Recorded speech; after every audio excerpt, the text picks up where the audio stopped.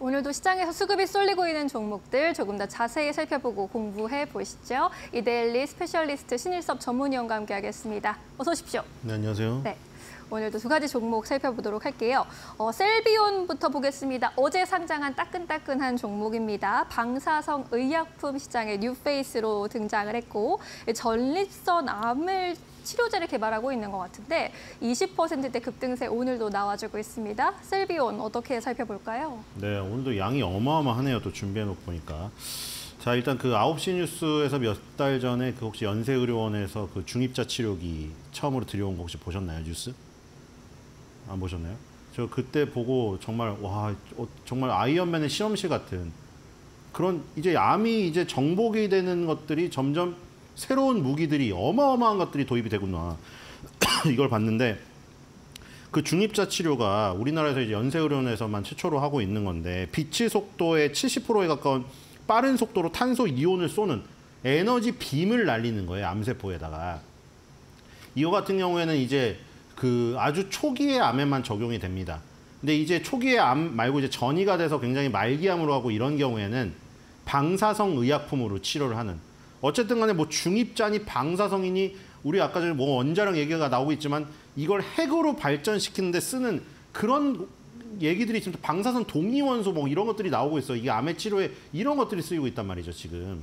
그래서 지금 에너지 빔을 암 부위에 정밀하게 써서 암세포를 죽이는 치료법인 이 중입자 치료 플러스 이 방사선 의약품을 조합을 하면 암의 초기부터 암이 뭐 말기로 갔을 때 이런 환자들을 그 점령 암을 점령할 수 있는 새로운 무기가 탄생을 하게 되는 것이죠. 물론 이것들이 이제 아주 한정된 환자들만 받을 수 있고 한 곳에서만 하기 때문에 굉장히 조금 뭐 그 접근도가 아직은 떨어질지 모르겠지만 인류가 암을 정복하는 데 있어서 정말 큰 발걸음들을 하고 있다고 생각이 됩니다. 셀비온은 이제 방사선 의약품인데 지금 그 최태원의 장녀 분께서 SK 바이오팜의 IR에 나오셔가지고 방사선 의약품이 앞으로 유망하고 내가 이걸 이끌어 가보겠다. 이 최태원의 차녀분은 이번에 결혼하셨는데 이제 군대 이제 여, 여자 그 장교로 가셨잖아요. 이 장녀분은 이제 요 SK바이오팜에서 방사선 의약품의 개, 연구 개발을 앞으로 이끌어 가실 것 같아요. 그러니까 SK그룹이라는 대기업에서 방사선 의약품을 손을 댔기 때문에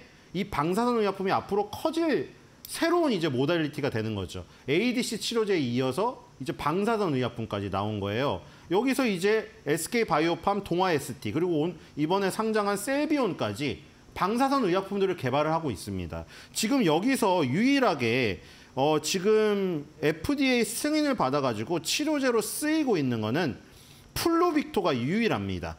플루빅토가 암세포를 정밀 타격하는 방사선 미사일 이어서 지금 그 요 차세대 표적 방사선 의약품 중에 가장 어, 지금 각광을 받고 있는 건데 최근에 카톨릭대 성 빈센트 병원에서 우리나라에서는 국립암센터에 이어서 두 번째로 지금 최초로 플루빅터 치료가 시행이 됐습니다. 환자들에게 직접 적용이 되고 있고 근데 이 셀비온이 굉장히 조금 어, 임상에서 좋은 결과가 나왔거든요. 이상 이상 시험 중인데 이상 임상 중간 결과에서 객관적 반응률 일단 이제 표적 방사선 의약품이니까 이것도 표적 치료제겠죠.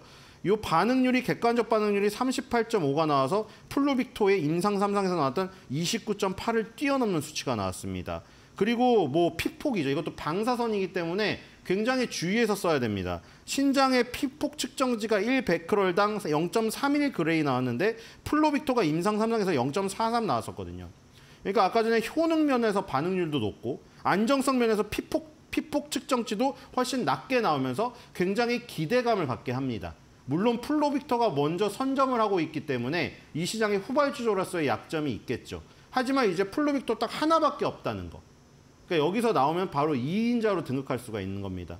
그래서 향후 방사선 의약품 시장이 더욱더 커진다고 봤을 때 지금 SK 바이오팜, 동아에스티, 셀비온 그리고 퓨쳐켐 이런 회사들이 지금 방사선 의약품 scene에서 이 어떤 도전을 하고 있는 업체들이기 때문에 이 부분에서 주목을 하시면 좋을 것 같고 아까 전에 10% 정도의 상승률이었는데 지금 거의 이제 상한가에 육박하는 상승률이 나오고 있거든요. 그래서 대비하자마자 아주 뜨거운 관심도가 높은 분야에서 셀비온이 급등을 하고 있고 아마 10월 16일 날 상장해서 고점을 찍었던 26,850원 여기는 지금 천 원 차이로 따라붙었기 때문에 일단 저 고점을 돌파하지 않을까 이런 생각이 듭니다. 네, 셀비온. 이제 SK그룹을 필두로 더 커질 방사성 의약품 시장에서 어떤 성과를 보여줄지 앞으로 지켜보시면 좋을 것 같습니다. 두 번째 종목으로 넘어갈게요. 제테마 가지고 오셨네요. 이 종목도 지금 10% 넘게 급등하고 있고 역시나 바이오주라고 볼 수 있겠습니다. 필러와 보툴리눔 독소를 활용한 바이오 의약품을 만들고 있는 회사인데 어떤 이슈가 있나요? 오늘 이렇게 급등한 이유를 잘 못 찾겠어서. 지금 일단 휴젤이 신고가를 갔죠. 네. 자, 메디톡스는 포기를 안 할 것 같고 참 보톡스주를 한다는 게. 참 피곤합니다. 사실은 이게. 네. 아, 이, 이게 싸움이 여기서 끝난 게 아니에요. 예를 들어서 지금 대웅제약의 나보타가 미국에서 팔리고 있잖아요. 그 당시에 대웅제약을 대신해서 미국 담당을 하던 에볼루스랑 그 다음에 메디톡스의 파트너인 엘러간, 지금 에브비가 가져갔죠. 이 3사가 합의를 해가지고 지금 그 로열티를 받는 조건으로 나보타를 파는 거를 허용하면서 합의로 끝났잖아요. ITC가 판결 내린 것은 21개월 판매 금지였는데 그게 이제 합의로 끝났단 말이에요. 근데 거기서 끝난 게 아니에요. 지금 우리나라에서 민사소송이 또 진행 중이거든요. 메디톡스가 대웅제약에 또 걸어가지고. 그리고 그 다음에 타겟이 휴젤이었잖아요. 근데 지금 ITC에서 판정이 나온 게 휴젤에 일단 손을 들어주는 판정이 나왔단 말이에요. 근데 메디톡스는 절대 저기 승복하지 못하죠. 다시 제소를 할 것이고 이건 끊임없는 싸움이 될 겁니다. 그리고 이거를 지금 바로 잡으려고 식약처가 시도를 했었거든요. 왜냐면 이게 결국에는 균주 출처 때문에 그런 거예요. 균주 출처. 이게 자연에 존재한다는 거기 때문에 보툴리눔 톡신이 그 어디서 나왔냐고 했을 때 그때 다 나왔잖아. 우리도 보툴리눔 톡신을 만들 수가 있어요. 지금 이게 점심시간에 통조림 캔, 참치캔에 라면 드신 분 계시죠? 혹시 통조림 캔 따다가 손 배, 베신 분 계실 거예요? 전국에 한 명 있겠죠? 손 뱄을 때 거기서 도, 보툴리눔 톡신 발견할 수 있어요. 왜냐하면 실제로 이 보툴리눔 톡신 기업들이 그렇게 말했거든요. 식약처에서 너네 균주 출처 밝혀라 했더니 그 직원이 통조림 캔 따다가 손을 뱉는데 거기서 보툴리눔 독소 A균을 발견했다 이거예요. 그리고 또 어떤 데는 뭐라고 했냐면은 마구간을 치우는데 마구간에서 말똥을 치우는데 마구간 똥에 말똥에서 발견됐다는 거예요. 근데 그게 증명할 방법이 없거든요. 그러니까 그러다 보니까 식약처에서 다, 너네 그 다 내라. 어, 다 내라고 했어요. 너네 모든 거 균주 출처를 다 밝히라고 했어. 근데 이게 결국 무마가 됐어요. 왜냐면 이게 그 개인 정보, 개인, 기업, 기업의 어떤 비밀의 정보기 때문에 이게 결국에 하려다가 실패를 했습니다. 그러다 보니까 결국은 식약처가 이 기강을 잡으려다가 또 실패했고, 그러니까 서로, 서로 소송전 난타전을 벌일 수밖에 없어요. 지금 일단 우리나라는 엄청나게 많거든요. 우리나라가 보툴리눔 톡신 허가를 받은 게 메디톡스, 휴젤, 대웅제약, 휴온스 바이오파마, 종근당, 휴메딕스, 메디카 코리아, 프로톡스, 제테마, 한국 BMC, 한국 BMI, 종근당 바이오, 대웅바이오, 파마리서치 바이오에서 무려 20곳이 식약처에서 허가를 받았어요. 이런 나라는 전 세계에서 우리나라밖에 없어요. 그렇기 때문에 그러니까 뭐 몰라요. 도대체 어디서 발견했는지 몰라요. 그 어쩜 그리고 균주 출처를 밝히라는 것도 이제 무마가 됐기 때문에 밝히지 않아도 돼요. 그리고 지금 이런 것들 때문에 더욱더 치열해질 수밖에 없죠. 그래서 제테마는 여기에 서, 처음에 참전을 하지 않았어요. 이게 오히려 지금 어떻게 보면 신의 한 수가 될 수도 있는데 히알루론산 필러를 주로 팔았단 말이죠. 우리가 보필러, 보필러라고 보톡스 필러를 보통 같이 막는데 그 대체제가 아니라 보완제잖아요. 보톡스랑 필러는 서로 경쟁하는 게 아니라 서로의 기능이 틀려요. 그러니까 보필러를 처방하는 거예요. 의느, 의느님들이 비율을 맞춰가지고. 그러니까 필러는 보톡스의 보완제 역할을 하는 거죠. 근데 이제 일단은 기본은 보톡스란 말이에요. 보톡스 메인 필러가 에피타이저 뭐 이런 식이죠. 디, 뭐 디저트. 그러니까 히알루론산 필러가 주력으로 했는데 62%가 매출이 필러에서 발생되고 있어요. 그러다가 제테마가 이 난리통을 보니까 야 이거 함부로 들어갔다가는 물론 아까 전에 식약처에서 균주 출처를 밝히라는 거는 무마가 됐기 때문에 법적으로는 밝히지 않아도 되지만 못 모르고 들어, 막 이렇게 아무렇게나 들어갔다가는 소송을 당하기가 십상이거든요. 100%예요. 제테마가 지금 또 뭐 들고 나가고 하면은 우리 균주 출처 훔쳐갔네 이러거든요. 뭐 제테마로 간 연구원이 있다. 예를 들어서 다른 데서 일하다가 제테마로 간 연구원이 있다. 그 연구원이 빼돌렸네. 이렇게 되거든요. 그러면. 그렇기 때문에 계속 안 가다가 영국 공중보건원으로부터 보톨리눔 톡신 균주를 분양을 받았어요. 그러니까 아예 확실하게 하려고. 야, 우리 우리 출처 확실해? 우리 마국간 무슨 통조림 캔 아니야. 나 우리 영국 공중보건원에서 인증 받았어. 여기서 분양 분양 받은 거야 이거예요. 아, 그래서 분양을 받아가서 제, 제 테마 더 톡신주 100유닛을 지금 개발해가지고 시각처 허가를 받았어요. 그래서 지금 보툴리눔 톡신 더 톡신이 사전 수출 계약 액수가 8천억 원이거든요. 식약처 인허가는 아까 말했던 받지는 않았는데 인허가가 지금 거의 확실시 돼요. 그래서 이거를 받기도 전에 이미 수출 계약을 8천억 원을 맺었다는 거예요. 그리고 지금 중국에서는 현재 임상 3상이고요. 미국에서는 임상 2상이에요. 메디톡스가 지금 너무 안타까운 게 그거잖아요. 메디톡스 주주분들은 계속 소송전을 했는데 결국엔 결과가 대웅제약은 나보타를 미국에서 팔고 있고 그 사이에 휴젤은 보툴렉스를 중국에 간 거예요. 메디톡스는 중국, 미국을 다 못 간 거죠. 그러니까 왜냐면 미국하고 중국 시장이 결국 중요한 거기 때문에 그러니까 지금 더톡신 같은 경우에 중국 현재 임상 3상에 미국 임상 2상이잖아요. 그러니까 여기서 오히려 이 뒤늦게 들어갔는데 확실하게 분양받아서 출처를 확, 확실히 하고 들어간 게 오히려 기존에 들어가갖고 난타전 속에서 막 피 피 흘리고 뭐 이런 거보단 나을 수도 있다는 거죠. 네. 필러로서 캐시카우를 창출해 놓은 상태니까요, 지금. 네.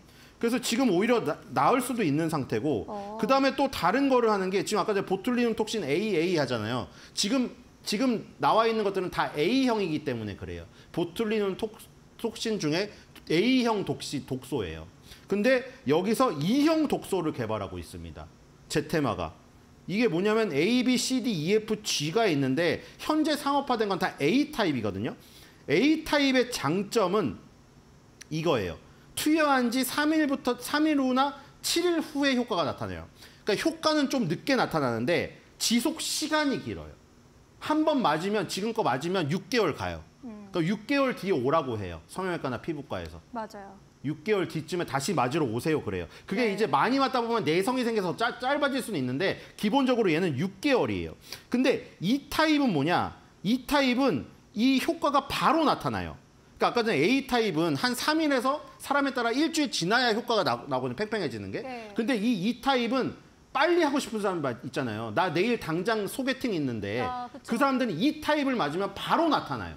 대신에 이거는 6개월 이상 효과가 지속되는 A 타입이랑 다르게 4주밖에 안 가요. 아. 대신에 빨리 효과가 나타난다는 장점이 있기 때문에 만약 이 타입을 개발하게 된다면 굉장히 시장에서 효능성 있게 쓰일 수가 있어요. 그쵸. 급한 사람들에게. 그래서 이 타입을 개발하고 있고 개발을 아직 하진 못했어요.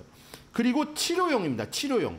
지금 이 독소가 그 굉장히 탄저균에 비교될 정도로 굉장히 위험한 균이거든요. 이게 그렇기 때문에 국가에서 자꾸 관리를 하려고 하는 것인데 요것을 이제 저기로 치료용으로도 쓸 수가 있는 거죠. 예를 들어 지금은 미간 주름이나 주름을 피는 건데 이 치료용으로 쓸 수가 있는데 이 치료용 시장이 우리나라에서는 대부분 미용용으로 쓰고 있는데 세계 시장에서는 50%가 넘는 게 치료용 시장입니다. 그래서 지금 식, 식품의약처에 요 지금 뇌졸중 후에 상지 근육 경직이 온 환자 요 대상으로 임상을 진행하고 있습니다.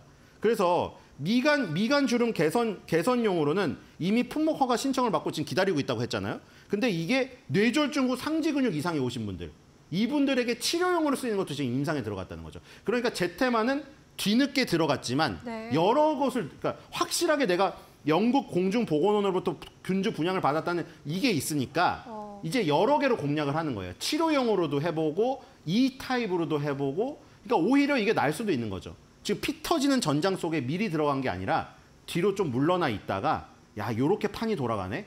우리는 제대로 처음부터 받아 시작하겠다. 요렇게 한 거죠. 지금 오히려 뒤늦게 들어가서 조금 머리를 쓰고 좀 늦췄던 게 제테마에게는 굉장히 좋은 득이 되고 있습니다. 오, 그렇군요. 필러를 주력하고 있고 또 E 타입 치료용 관련해서 보톡스까지 개발하고 있는 회사입니다. 앞으로 어떻게 또 주가 흐름 전개가 될지 함께 눈여겨보시면 좋을 것 같습니다. 오늘 말씀 여기까지 드릴게요. 고맙습니다.